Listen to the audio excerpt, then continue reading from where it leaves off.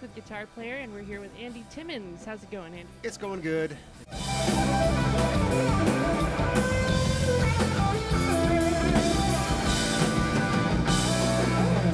It's going good. And we're here at the uh, Saddle Rack in Fremont, which is normally uh, like a country club. Yes. So, do you have any uh, Texas blues licks for us? Yes, I do. We can do.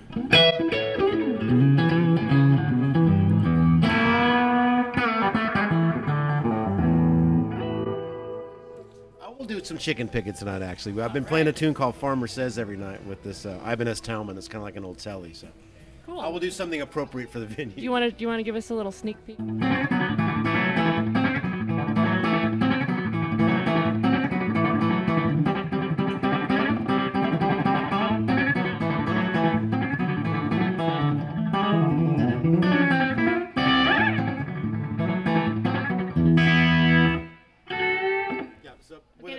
Our viewers, can you do that in slow motion? Yeah. Just think New Orleans and you got it.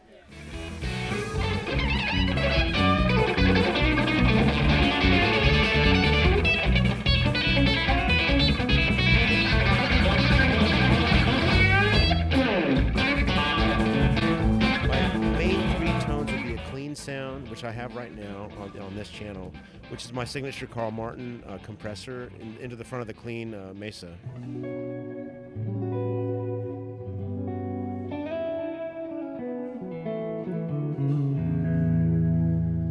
So just a nice.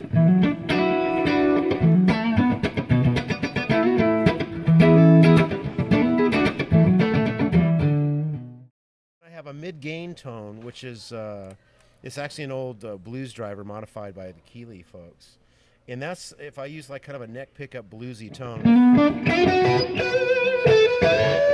If you use your volume knob and, and bring it, bring the volume really low, you can get a really nice glassy kind of clean sound.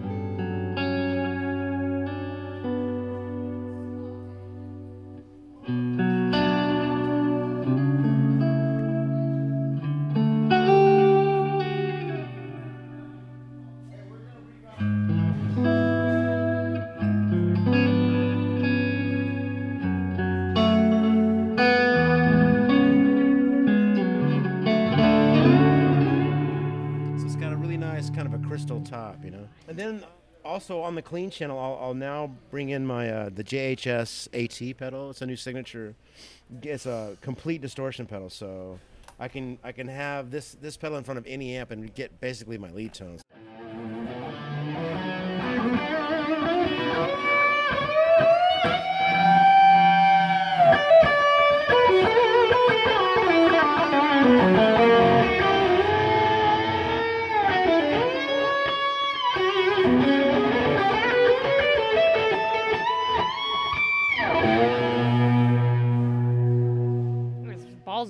Happy with it. Well, exactly. That's it, it's taken a long time to find a pedal where I could really feel like I could get that sound without relying on a really loud amp or, or a gain channel with you know using a pedal for a boost. At that, yeah. So now there's lots of other stuff on there, and I can give you a, a couple of examples if you like. Sure. I've got one. There's a, a, a company that I work with in, in Brazil called GNI. They make that chorus pedal that I'm using, which is just a really nice vintage analog chorus. They make my they make my favorite Octavia. It's called the uh, Octafuzz, and then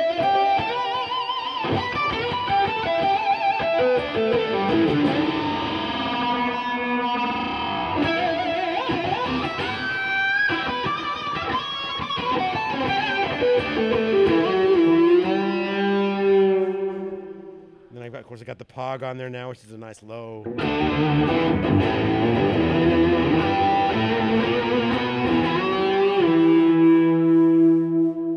Nice to have that uh, that sub octave. And what else is on? Oh, the old Phase 90. I think I've got that here with the.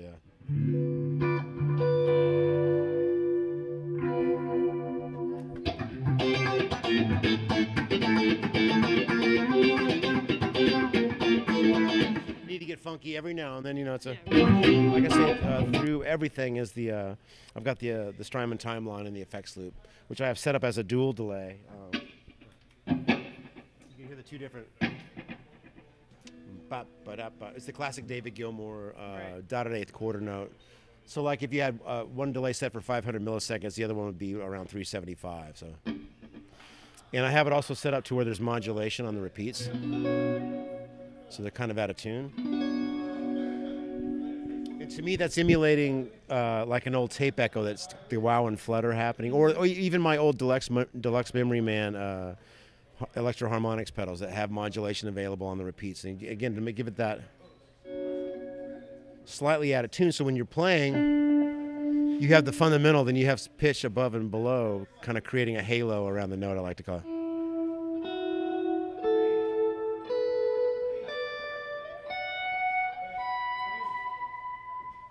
That's it. That's a big part of my sound, though. That's I, I have that on just almost all the time. So the guitar is uh, my original prototype. It's uh, a 1994 uh, LA Custom Shop uh, guitar that became the AT100, which is uh, still my current signature model that Ibanez has.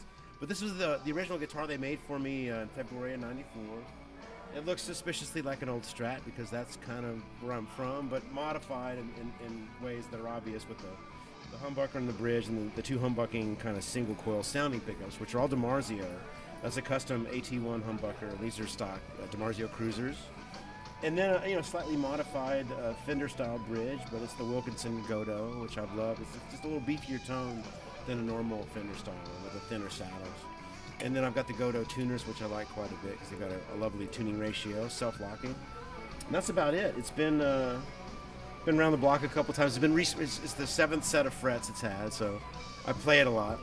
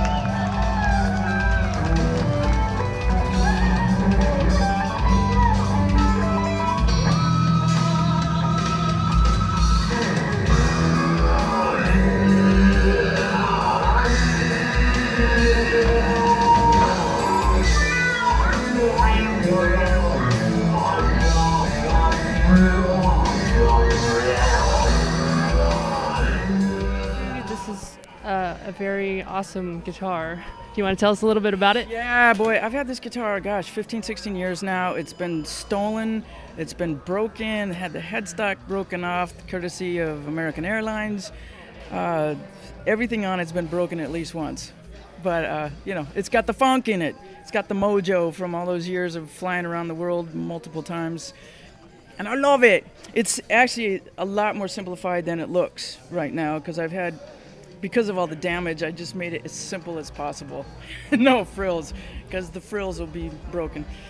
Um, in the last year, I, I added a Fishman triple play wireless MIDI system, and in the show, hopefully it's going to happen tonight. I had some computer issues, uh, and I do miss Steve Jobs horribly.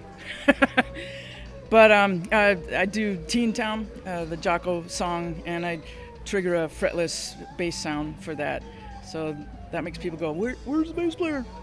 But um, yeah, let's see about this. I've had tons of autographs. A lot of them have come off just from being rubbed off. I had Les Paul all the way across here. Um, Jeff Lorber, John McLaughlin, Vic Reeves, British comedian. Um, Jimmy Page is under here. Just um, anybody I see that I like, I say, please sign, please sign. You got a fresh. Uh, this looks like fresh ink. Yeah, that was actually from New Zealand. We did a festival, gosh, years ago, maybe five years ago. And uh, who knew I'd be doing a, a tour with him? So that's how life works. Other than that, I have Duncan pickups, uh, JB Jr. in the bridge, Duckbuckers. This is um, last time I played with Michael Jackson. We ended up in South Africa, and I just smoked a credit card getting African art, and had a friend of mine paint something from a batik, a Maasai uh, character, on here. And this is the Batten string damper that um, I'll do the before and after of why I use it. Here's the before.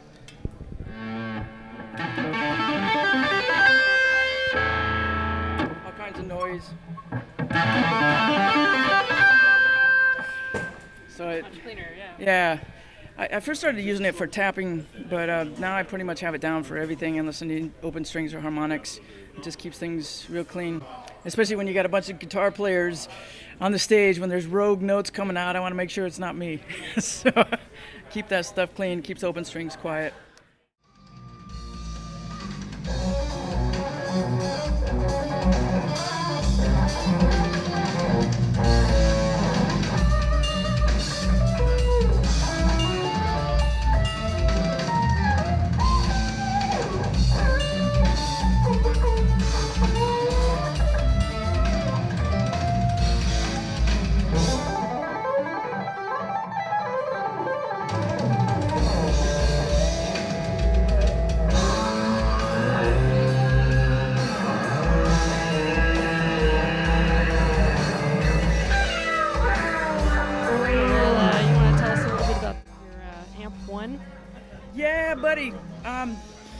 Gosh, I, I have paid so many excess luggage charges in my life, I can't tell you. And I, I just happened to be at Thomas Blug's house. He's a, an amazing German guitar player. And I didn't even know that he designed amps. And I ended up at his house um, uh, last spring when I was touring Europe and just to say hi. And he had just finished this amp and had me plug in. And I just said, I want how, how fast can I get it? I was just begging for it, and it was, it was months before I got a hold of it. But it's phenomenal. It's essentially a 100 watt vintage Marshall head, four channel, MIDI capable. It weighs two pounds. It's tube driven with a nano tube, and um, I just throw it in my carry on and essentially have a 100 watt head on the plane. Yeah, the technology is phenomenal. It's really, really improved my sound immensely. So it's more inspiring than it's ever been. Yeah, I'm, I'm using the, the four cable system with the, the Blue Amp 1. So all the effects are coming from the Digitech RP1000. And um, it's got an expression pedal on it, which, depending on what song, I, I'll have it be um, a, a wah pedal. A lot of times it's a whammy pedal. I, I generally set my solo sound up for whammy pedal to bend down a whole step so I can slide in and out of, of chords or notes or harmonics and know that it's going to be exactly a whole step. So that's, that's kind of handy. Um, well, I'll demo that.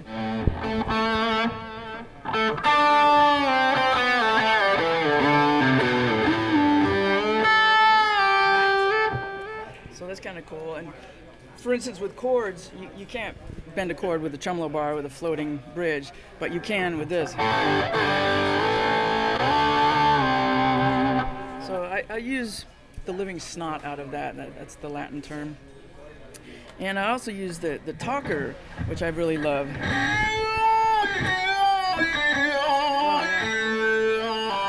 It takes the place of the, the talk box. So you don't have to carry around all this extra crap and have a tube in your mouth that knocks your fillings out anymore. God only knows where the roadie's hand was when put it on the mic stand. So this is the sanitary version. Very different from the wah. And um, there's there's a lot of sounds in this that I, I just love. I've tried various companies over the year, but I, I keep coming back to Digitech.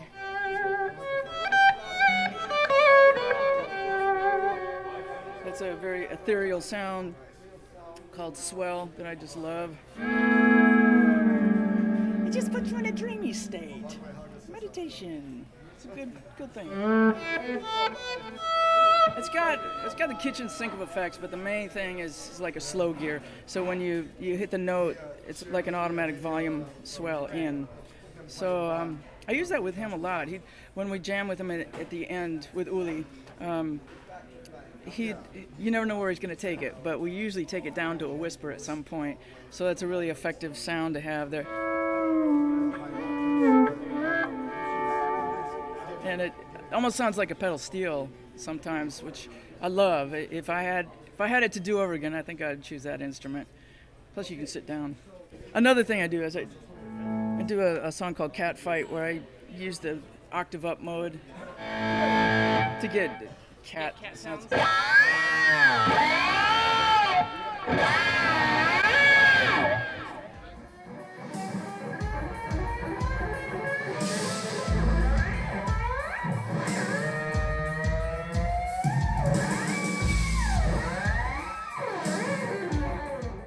Love using effects. I love variety. Uh, I got a Starbucks VIP card, so I'm, you know, ADD like the rest of the planet. My brain's been rewired by iPhone. Ooh, text. Ooh, Facebook. It's, uh, it's not a good thing, but it's where it's at right now. I have to ask this is totally random, but um, I was recently watching your Flight of the Bumblebee video, and I was wondering how did you get the bees off of you? Well, that's funny because, you know, I talked to the bee wrangler, Norm Gary, who used to be an entomologist at UC Davis. He's the one that put the bees on me for that video. And the way they put them on is to, to put synthetic bee uh, pheromone drops. So the bees think I'm the queen. And you take the queen bee away so they're not defensive.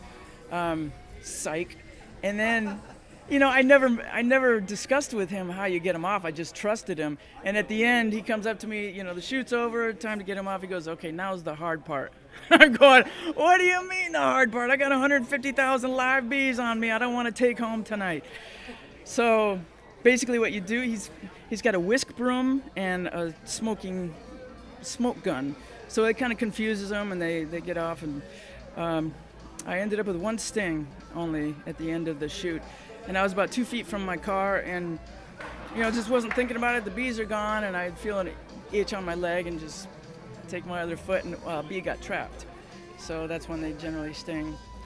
And now I'm allergic, so glad that's done. The things you do to sell records, it's just.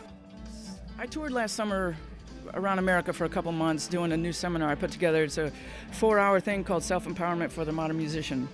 And I, I, plan to really build on that and make it streamable at some point. And it's kind of a holistic view of what it takes to be a musician. There's learning how to learn music segment, how the brain works, how neuroscience has um, been able to unfold how the brain works so it's it's more efficient. And I get into all these different aspects like road life, travel, fuel, fuel for your body, fuel for your brain. Um, I mean, the best example is if you watch the 11 o'clock news and wake up depressed, there's a reason.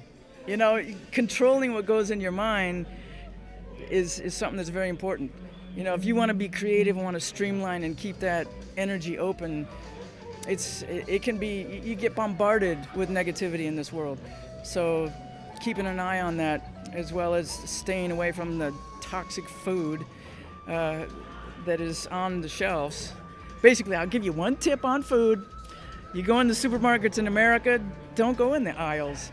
You go around the perimeter where it's real food that came out of the ground and the body knows what to do with. So that's that's my sermon.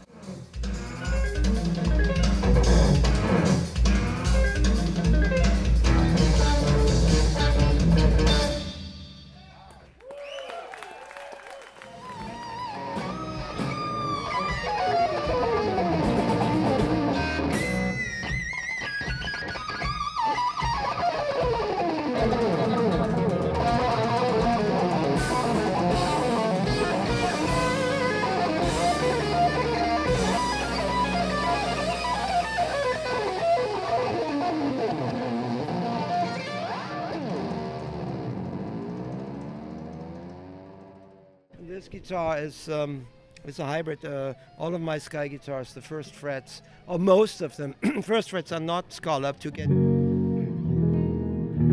perfect intonation on on on these chords. You know, and then um, I prefer to have a pretty deep scallop going all the way up. Um, yeah, it gives me a better control over the string actually, and it sounds better, I think.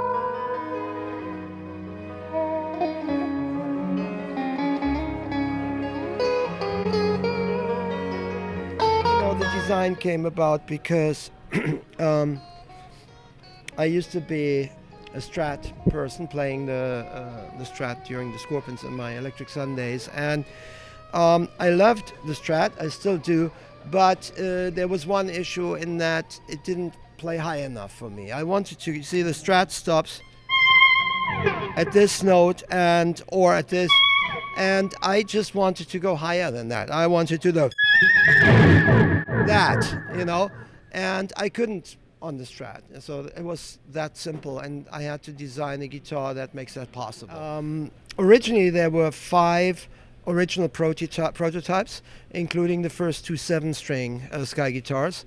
And then um, for many years there were no new Sky guitars, although the guitar was copied a lot by Japanese companies, etc., without my knowledge, and I, I didn't like that because the, the copies were actually really bad. They didn't play well. Um, it, was my very much my personal kind of trademark instrument, and so um, I was reluctant to put it on the market, you know. But um, I met uh, the CEO of Dean, um, Elliot Rubinson, and we became friends. Um, he's such a great guy, and he really talked me into putting um, out a signature series of the Sky guitar. And um, I thought about it, and the, the thing that really attracted me the most was that he gave me complete freedom to do some further. Um, prototyping and to take it even to a higher level and this is what we did, you know, and we ended up with completely hand-built guitars. Um, and each one is slightly different, but they're all of the same quality. So we had a limited edition of 50, and then they've all been sold. And um, we are going to do a new limited edition of a slightly slightly different model now. I'm looking forward to that. You know, it's uh, it's going to be great. Are you going to name all of the new guitars? Yeah, as I love I love naming guitars when they're special. You know, everything has a name. You just have to find it. You know, and um, if you listen deeply enough, it'll kind kind of tell you. My main amp on uh, most tours at the moment is the Blackstar Artisan 100, which is uh, um, basically also a hand-built top quality amp, uh, extremely reliable. it's based on my favorite. Um, uh, Marshall Plexi, the Marshall Super Lead. It's still a different kind of amp. It's much more reliable than the early um, Super Lead Plexis, but it's it is similar in, in what it can do. Um, and I'm always playing um, on the clean channel. There is, in fact, there is only two channels, but it's uh, it's very much an old school kind of design, so I don't use any uh, master volume on my amps. Um, I'm using the clean channel, and very often I will only uh, play it uh, like uh, the setting on one or two. And with this guitar, um, I can actually make that amp sing. You see, I can have this totally clean sound instantly. And go into a singing mode, you know.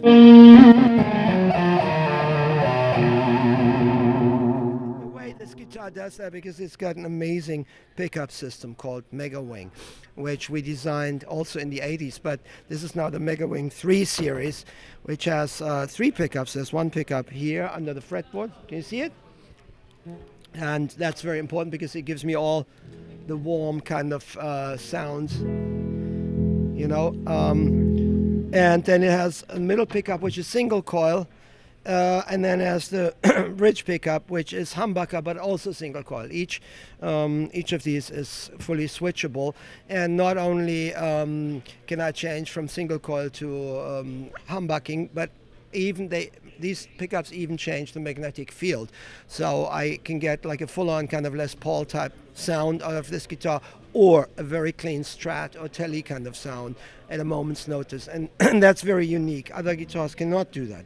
Um, one of the most important things is this gain knob. I've got like a, a huge gain um, control here, which is integrated into the system. That's how I can drive any amp um, on the clean channel and make it sing. And that's exactly what I want. I don't want any gadgets to make it sing. I want to be able to go from uh, zero to 100 and beyond at a moment's notice. And this guitar can do that because of that system. This gain knob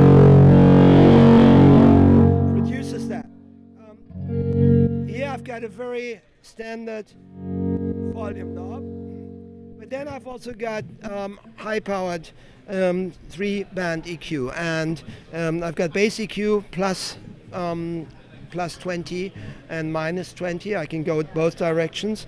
Um, mid, exactly at the right frequency that I like. Um, not dis- too dissimilar from uh, a wah-wah pedal. And then I've got the, the treble top end. And if I crank all these up, I'm reaching like a 100 dB threshold with this guitar. Meaning some amps cannot handle that. And um, and they die. You know, um, but this amp doesn't die, and uh, the old school amps are much better at handling that. When I play a newer kind of amp, like um, uh, so shall we say, like one of the new Marshalls, I'm careful not to turn up the gain too much because then the amp will only last half a show, you know, before it dies a horrible death. Sometimes they sound the best just before they die. It took me some time to figure that out. Uh, like an AC30, for instance, I cannot crank it all the way. I would just make sure I have to be in the comfort zone, otherwise the amp will die very quickly and I've blown up many an amp in the beginning. Now I know exactly how not to do that you know, uh, most of the time. this system, it's, it's been on, on, the market for a while. It was uh, designed by my good friend Chris Adams, Tronical, and uh, it is basically self-tuning. And um, during the show, you know, there you go. That was it. You know, sorry, I, I just hit the the whammy bar. but uh, during the show, I used that an awful lot because my um, my whammy bar is free floating because I like that for the sound, and I don't use locking because the locking kills the sound. Um, and so my guitar does go out of tune, but you know, during the announcement of the next song, I will just hit this button, you know, sometimes even during the song, and it tunes itself. And I've got that on every guitar, including my double neck uh, guitar, which has two of these systems and I couldn't do without it. You know, I could not do without it. I find it um, the, the stage much, much uh, more st- stress-free environment if I don't have to tune. I don't like tuning. Even in the Scorpions, were you know guitars were out of tune a lot. Um, that was before the days of tuners, and I never cottoned on to these floor tuners. I al- always did it by ear. But um, a floating tremolo, uh, sometimes it's difficult, you know, because uh, you tune one string and the other one goes a little bit off tune. With this system, that, that doesn't happen, you know. And sometimes you you're in a situation where you suddenly have to either tune to E, E natural or E flat, and uh, the guitar is there in a split second. So I'm a big fan, you know. I can't wait for the new system because the new system can do even more. And yeah, that's I think a couple of months off. I was actually the first one to endorse the system, you know, when it when it came, and um, it's it's just amazing. So you you actually go from standard tuning to half step tuning? Not not during the show, but I have done it. You know, I sometimes when, well, you know, at the moment I'm tuned to E flat because uh, a lot of the Scorpion songs, the Scorpion songs were uh, actually in E flat um, emulating the Hendrix tuning. You know, that's really what it was. The guitar sounds totally different in E flat. It's it's much warmer. It's a warmer key. E, the key of E is more. I don't want to say cold, but it's a little bit more chilly, brighter, and E is just so much more. It's it's a rich, very rich sounding resonant key. Uh, guitars tend to sound much more mellow when they're tuned to E flat. You know, um, the I don't normally tune down to D. I have done, but then it becomes a little spaghetti-like. You have you need extra uh, heavy strings to do that, you know. But it's also a, a cool tuning. But even going back from like standard D flat, you don't have any intonation issues with the self? No, with the, this guitar, no. They're set up perfectly, so I don't have intonation issues, you know. Not unless you do extreme tunings, which I hardly ever do. What I do on my classical guitar, I will sometimes uh, tune the bottom string down to A flat, or I will tune it up to B natural when this is tuned to um, to B flat, and then uh, it gives you a whole different ball game of uh, of chords you can do. I find that very very interesting, and I, I use that, you know, particularly during our acoustic shows. Sky guitar.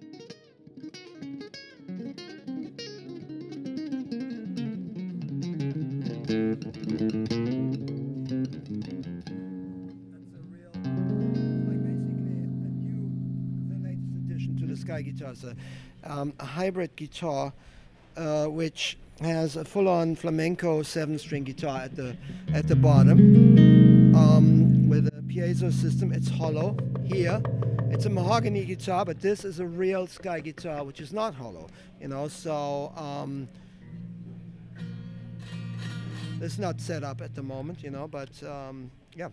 So it's this is fully electric, like like these guitars, and this is fully uh, acoustic. You know.